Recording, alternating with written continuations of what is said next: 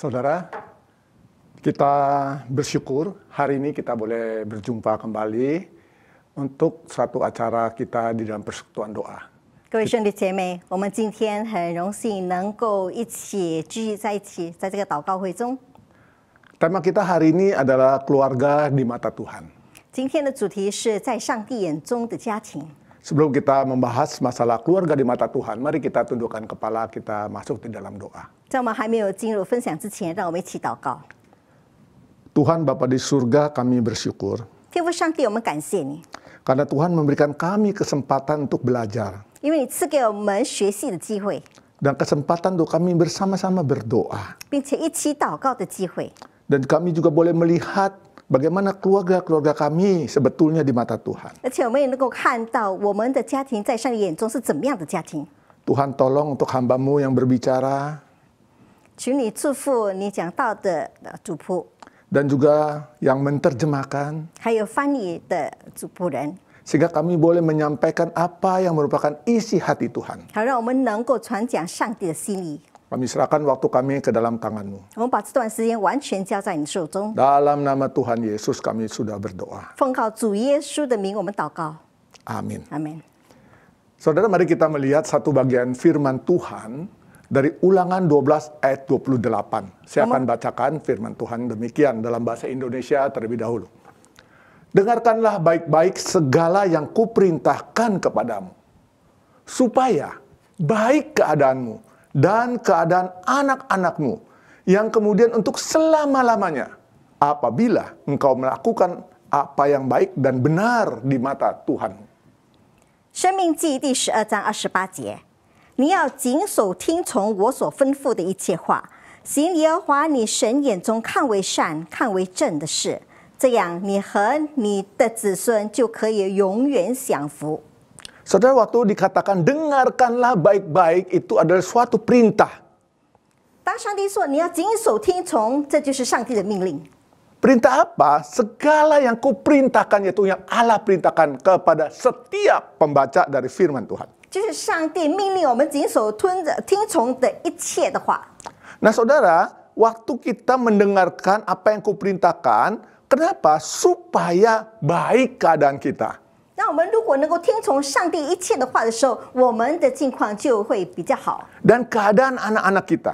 还有我们儿女、子孙的状况，untuk selama-lamanya. 到永永远远。Tetapi saudara tidak hanya mendengarkan. 但是不只是听从，Firman Tuhan mengatakan apabila engkau melakukan apa yang baik dan benar di mata Tuhan. Nah, saudara ini berbicara mengenai keluarga, saudara. Jadi Tuhan mau membicarakan mengenai satu keluarga. Nah, saudara kalau kita bicara keluarga maka pertama yang harus kita ketahui adalah keluarga itu adalah dibentuk atas inisiatif dari Tuhan. 如果我们讲关于家庭的时候，我们知道家庭的那个形成是在上帝的那个呃主意之当之中。 Tuhan menghendaki adanya pernikahan dan Tuhan membentuk keluarga itu dan itu semua inisiatif dari Tuhan. 那么上帝要我们成家立室，这一些是上帝的主动。 Yang kedua, saudara, pentingnya keluarga ini 那么第二，关于家庭的重要， Saudara kalau kita membaca seluruh bagian dari Alkitab, maka mencatat segala kisah di dalamnya Allah menggunakan term keluarga. 那么我们如果呃查看整本圣经的时候，我们看到里面有很多是讲于呃家庭的事情。Nah saudara kenapa saya katakan term keluarga? Karena kalau kita melihat Allah menamakan dirinya Allah Bapa. 那么上帝是用这个家庭这个词，因为上帝说这是我们的天赋。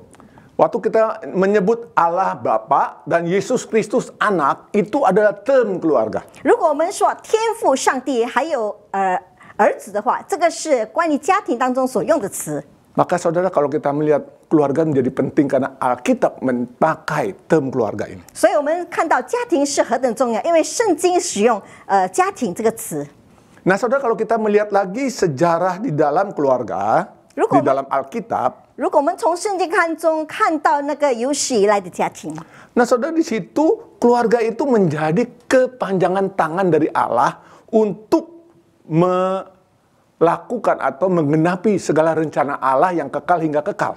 我们在家庭当中呢，看到家庭其实是上帝呃伸出来的手，为了要我祝福我们从呃永恒到永恒。Nah, saudara, kalau kita melihat dalam sejarah Alkitab, kita melihat bagaimana Allah menggunakan setiap dari keluarga-keluarga yang ada. Pertama keluarga Adam dan Hawa, lalu ada keluarga Nuh, ada keluarga Abraham, ada keluarga Daud, dan lain sebagainya. Itu semua dipakai oleh Allah untuk menggenapi rencana Allah yang 所以我们看到上帝在呃圣经当中有很多的家庭，从呃呃挪亚的家庭，还有从呃亚当的家庭，还有从其他的家庭，我们看到这一切都是有上帝美好的旨意。 Bahkan saudara, Allah juga memakai keluarga kita untuk menjadi kepanjangan tangan Allah menggenapi rencana yang kekal. 所以我们也看到，我上帝使用我们的家庭，也是上帝所原生的手，为了要成就他的应许。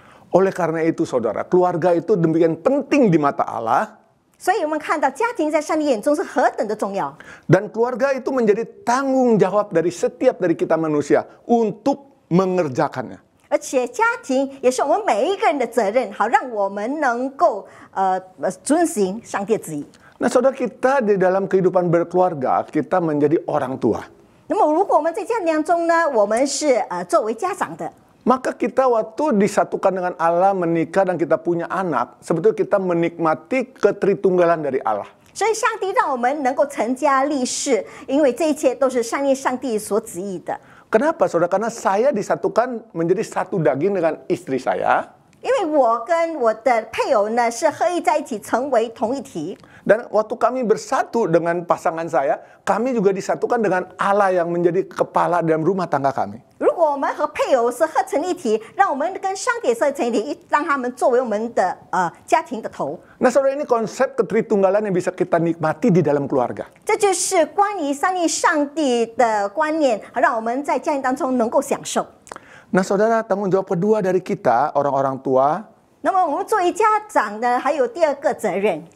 saudara saya itu adalah gambar dan rupa Allah. 我是上帝的形象和样式， Pasangan saya gambar dan rupa Allah. 我的配偶也是上帝的形象和样式 Maka。kami akan melahirkan gambar-gambar dan rupa Allah. 那么我们要生出来的子子孙孙也有上帝的形象和样式。 Nah, waktu Tuhan mengatakan penuhilah bumi, maka artinya penuhilah bumi ini dengan gambar dan rupa Allah. 所以上帝说，你们要充满全地，就是以上帝的形象和样式充满全地。 Artinya saudara, kalau saya menikah dengan pasangan saya dan saya punya anak, menjadi tanggung jawab saya untuk membawa anak-anak saya mengenal Tuhan dan penciptanya bahwa dia adalah gambar dan rupa Allah. 所以当我成家立室，生下子子孙孙的时候呢，我也要让他们有上帝的形象和样式。 Nah, saudara inilah multiplikasi gambar dan rupa Allah melalui keluarga. 这就是上帝接着祷呃，接着那个家庭呃所呃行出来的子子孙孙。 Nah, saudara, lalu kita melihat tanggung jawab yang lain dari orang tua. Kita juga harus membina iman dari keluarga kita di dalam Tuhan.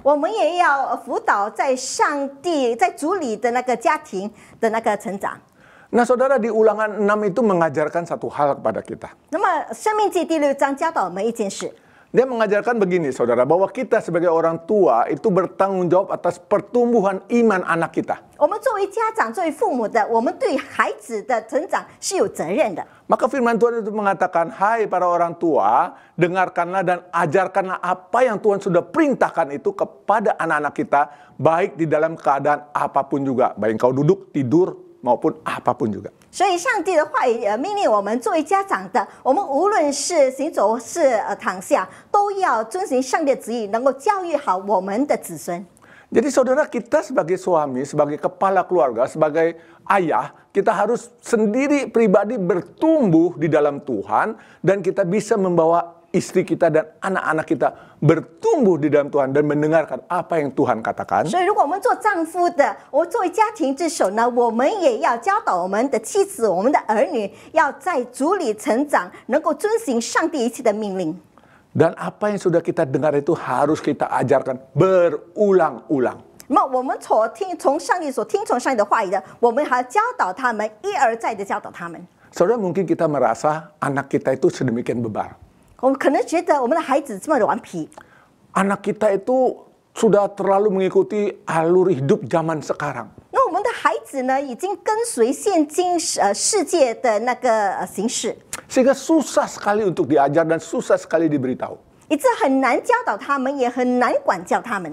Tetapi saudara bukan berarti kita berhenti untuk mengajarkan mereka. 但是并不表表示说我们停止教导他们或是辅导他们。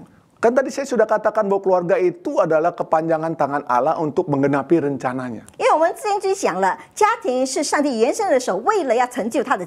Maka juga menjadi tanggung jawab kita untuk mendidik anak-anak kita dibawa untuk mengenal Tuhan. Tidak peduli kondisi keadaan mereka seperti apa. Tetapi kita harus terus menerus mengajarkan dan memberitakan apa yang kita tahu tentang firman Tuhan kepada anak-anak kita. 而且我们要一而再，要不断的教导他们、辅导他们关于上帝的话、上帝的旨意。 Saudara, Tuhan itu sedemikian luar biasa indah 那 dan 么，上帝是非常美善的， saudara waktu dia menyatukan kita di dalam keluarga karena keluarga itu menjadi penting, 所以当上帝将我们的和配偶合在一起的时候，这家庭是何等的重要。 maka Tuhan juga memberikan satu tata cara bagaimana menjalankan keluarga ini. 所以上帝也给我们一个仪式，让我们怎么样的组成家庭。 Nah, saudara, yang paling penting yang Tuhan ajarkan itu di dalam Alkitab dia memberitahu kita sebagai laki-laki bagaimana kita harus menjalankan peran kita sebagai seorang laki-laki. 所以在家庭当中，如果我们作为做丈夫的，我们也要懂得怎么样的遵循我们做丈夫的角色。 Sebagai seorang laki-laki di dalam keluarga, saudara kita bukan raja.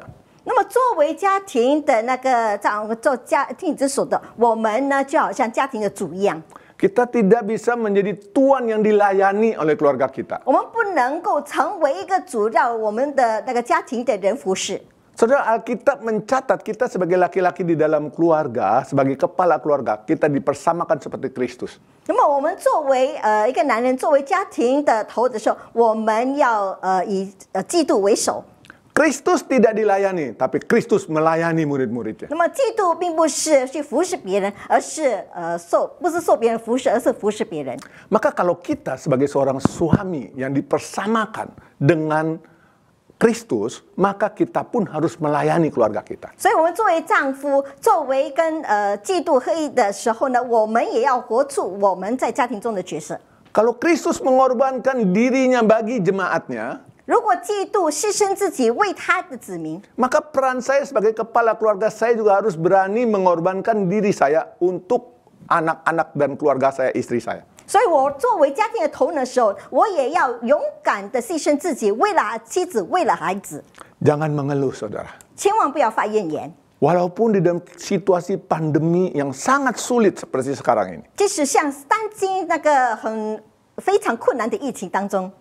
tetapi kita tetap harus menjalankan peran kita. Peran yang penting lainnya, saudara. Tuhan tadi sudah mengatakan soal peran kita. 上帝已经告诉我们所当守的角的角色。 Maka peran yang paling penting sebagai seorang suami adalah kasihilah istrimu seperti dirimu sendiri. 所以做丈夫的最重要的角色就是要爱你的妻子，如同爱自己。 Kalau engkau ingin mempunyai keluarga yang harmonis, yang indah di dalam Tuhan, 如果你想拥有在主里一个和谐、一个美满的家庭， maka kita harus mempunyai kasih dari Kristus di dalam diri kita. 那么在我们的心中要有嫉妒的爱。 Dan dengan kasih Kristus itu kita mengasihi pasangan kita seperti mengasihi diri kita. 那么接着上帝爱呢，我们能够爱我们的配偶，好像我们爱自己一样。 Saudara saya tidak ingin disakiti. 我不要别人呃刺伤我， Tapi berarti saya jangan menyakiti pasangan 嗯 saya. 同样的，我们也不要刺伤我们的配偶。 Saya tidak suka kalau pasangan saya berbicara kasar dengan saya. 我不喜欢我的配偶对我说话粗鲁。 Dengan prinsip yang sama, kita jangan pernah berkata kasar dengan pasangan kita. 那么同样的原则，我们也不可以向配偶说出粗话。 Kalau pasangan kita tersakiti, 如果我们呃呃让我们的配偶心痛， maka berarti kita sendiri juga tersakiti. 那么也表示我们自己也心痛。 Maka saudara, waktu kita mengatakan kasihilah pasanganmu seperti dirimu sendiri, 所以当我们说你要爱配偶，好像爱自己一样， itu menjadi satu hal yang sangat penting. saudara. 这就是非常重要的事。 Kalau kita bisa melakukan hal ini, maka tidak lagi ada pertengkaran di dalam rumah tangga kita. 如果我们能够做好这些事情呢，也就是表示在我们家庭不会有纷争， Karena kita belajar untuk melakukan yang terbaik. 因为我们学习把最好的行出来。 Demikian juga untuk ibu-ibu di rumah. 那么作为家庭的那个母亲也是一样， Sebagai istri, maka dikatakan hormatilah suamimu. 作为妻子你要尊敬你丈夫。 Saudara menghormati suami itu tidak mudah, saudara. 么尊敬丈夫并不容易，Mungkin engkau sebagai istri lebih pandai atau lebih dominan. 可能你作为妻子的你比较聪明，还是比较有主观，Atau engkau lebih cepat mengambil keputusan dan seringkali keputusanmu tepat. 呃你也可能呃会采取一些的呃主意，而且你所发出的意见都是正确的。Tetapi di dalam konsep rumah tangga di dalam Tuhan, 但是如果讲在主里面的家庭观念， tetap engkau harus tunduk dan menghormati 你 suami. 还是要尊敬你的丈夫。 Nah saudara, bahkan dikatakan bagaimana kita bisa menempatkan suami-suamimu duduk di tempat di pintu gerbang, artinya menjadi orang yang dihormati. 所以我们要怎么样的把上呃那做丈夫呃呃坐在一个位置里面，就是说他要受尊敬的地位， Saudara ini tidak mudah. 这是不容易的。 Ibu-ibu itu sering berbicara, 那么做姐妻子的通常都会很多讲话， sering gosip. 很说说闲话。 Saudara satu kali saya ceritakan ini uh, suatu cerita yang uh, lucu, tetapi uh, mungkin bagi ibu-ibu tidak enak. 我分享一个故事，呃，是很有趣的，但是对于做妻子可能不大好受。 Saudara satu kali saya mampir di depan sekolah penabur di Kelapa Gading. 那么有一天呢，我去那个本拉布呃学校那边，呃，经过那边， Saya bukan ke penaburnya saudara, di depannya ada tukang bakso, saya beli bakso. 我不是去那学校里面，而是在学校面前有一个卖呃肉丸的摊子。 Nah saudara waktu saya beli bakso di situ ada kumpul ibu-ibu sedang menunggu anak-anak mereka. 当我在买这个呃肉圆子的时候，那边呃在旁边有呃那个聚集了很多的那个母亲在那边， Nah saudara saya mendengarkan perbincangan mereka seru banget. saudara. 我就听到他们之间的所的谈话非常的那个呃有趣。 Ada satu ibu mengatakan demikian. 有一个母亲这样子说， Dia katakan kepada teman-temannya, 她对她的朋友说 eh kamu tahu nggak? ：“ 哎，你知道吗？ Itu ya suami gua goblok banget deh. 我的丈夫非常笨， Masa dia begini aja nggak tahu sampai dia bisa ditipu orang. 他这样他都不明白，以致能够受别人的骗。 Lalu temannya jawab saudara, 然后朋友就回答 iya benar. 是的， Suami gua juga kadang-kadang bego deh. 我的丈夫有时是也很笨， Kadang-kadang dia juga ngambil keputusan nggak masuk akal. 有时候他呃那个采取意见，但是不正确。 Lalu yang satu lagi ngomong lagi begini, 那么另外一个做母亲也说， ah nggak nyangka ya ternyata kita suami-suami kita sama. Suamiku juga goblok. 想不到我们的丈夫都是一样的，都是很笨。 Nah saudara, waktu saya dengar begini saya kaget loh saudara. 当我听到这话的时候，我非常吃惊。 Ini ibu-ibu kalau ngumpul gosip ternyata menjelekan suami sendiri. 原来做母亲的，如果聚在一起讲闲话，都是讲丈夫的闲话。 Saudara saya percaya mereka tidak dengan sungguh-sungguh atau dengan uh, ada intensi untuk menjelekan suaminya. 我想呢，他们并不是有意故意的，或者是有故意去呃恶化他们的丈夫， Tapi mereka sedang menceritakan pengalaman mereka. 而是他们在讲关于他们的经验。 Nah saudara, tetapi apa yang mereka ucapkan itu sebenarnya itulah keseharian hidup mereka. 但是他们所说呢，就是他们的日常生活的情形。 Saya menangkap mereka kurang menghormati suaminya. 我觉得他们缺乏尊敬丈夫。 Kenapa saya katakan kurang menghormati? 为什么我说他们缺乏尊敬丈夫呢？ Saudara, mungkin mereka tidak saling kenal suaminya. 可能他们并不彼此认识彼此的丈夫。 Tapi kalau satu kali misalnya kondangan ketemu saudara. 那么如果有一天他们去一个宴会呃碰到了， Nah saudara bisa aja tiba-tiba siang peri, yang wanita lain mengatakan ini, itu suamimu yang goblok itu ya. 呃，如果可能另外一个朋友说，哦，那就是你的丈夫啊，就是很笨的那个丈夫。 Saudara bagaimana perasaan suami kalau mendengar hal itu? 如果做丈夫的听见这话，他的感觉会怎么样？ Nah saudara, maka kita harus hati-hati di dalam menjalankan keluarga. 所以呢，我们要组成家庭，要运行家庭的时候要非常的小心。 Jalanilah peran kita. Yang suami, kasihlah istrimu seperti dirimu sendiri, jadilah kepala. Lalu yang istri,